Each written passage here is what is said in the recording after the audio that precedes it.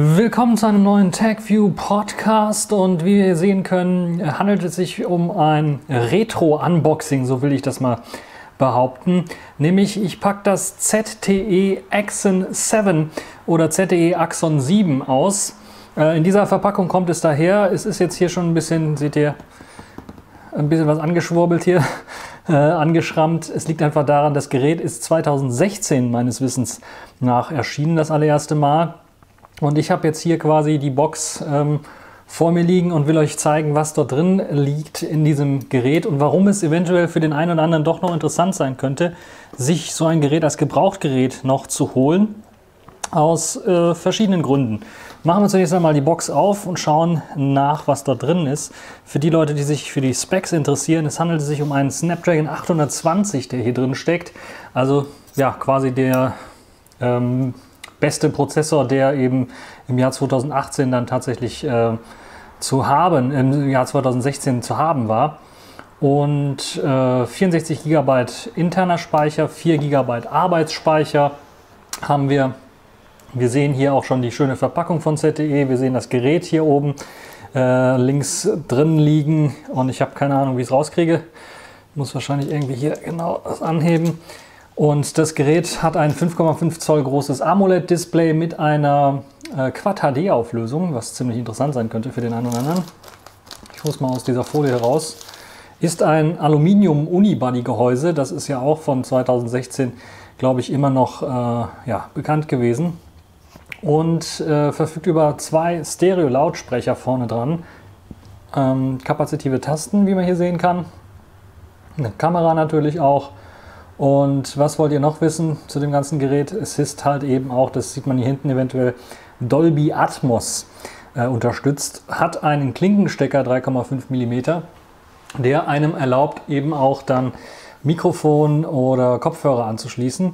USB Typ C, ähm, Mikrofon natürlich auch, mehrere Mikrofone zur Rauschunterdrückung, SIM-Karteneinschub, äh, Fingerabdruckscanner, eine 20 Megapixel Kamera, die Frontkamera hat 8 Megapixel.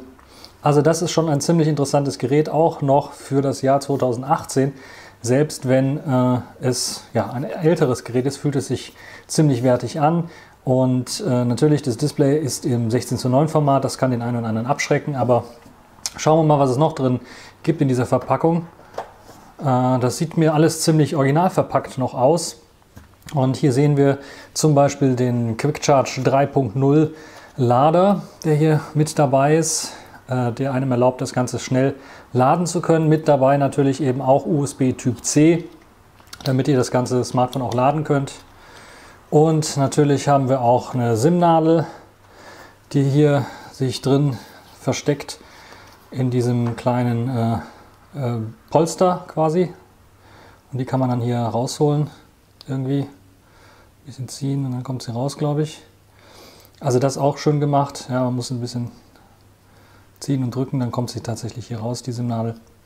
Also auch eine tolle Geschichte, dass es da eine Verpackung gibt und eine Möglichkeit gibt, das zum Beispiel am Schlüsselanhänger äh, anzubringen. Dann hat man die Möglichkeit, immer eine SIM-Nadel dabei zu haben, falls man eben so etwas benötigt.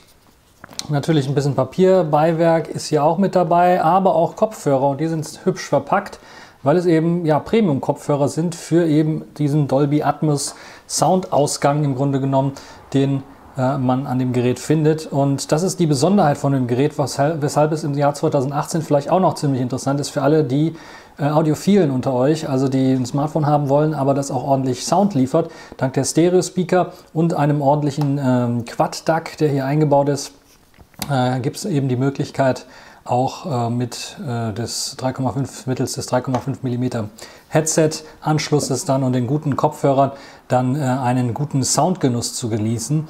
Und das erwartet man eigentlich nicht von ZTE, äh, weil man doch eher billige Geräte von denen bekannt oder äh, gewohnt ist.